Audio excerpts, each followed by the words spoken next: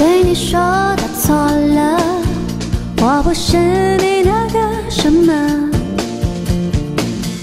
你想找的那个，就算我跟他同名同姓又如何？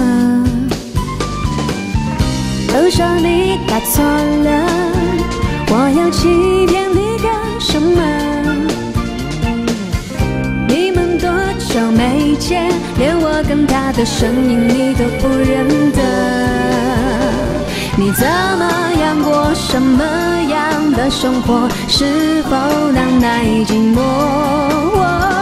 你到底是谁？总是阴差阳错，擦过我的耳朵。